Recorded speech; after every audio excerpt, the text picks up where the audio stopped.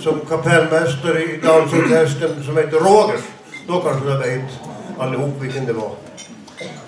Eh, och vi har ju som sagt försökt att spela hans låtar. Vi ska fortsätta med det så länge vi kan. Och vi fortsätter med en hambo nu.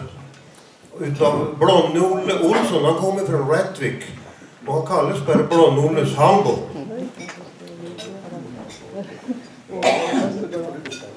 Tog vi hand om Você vai, vai.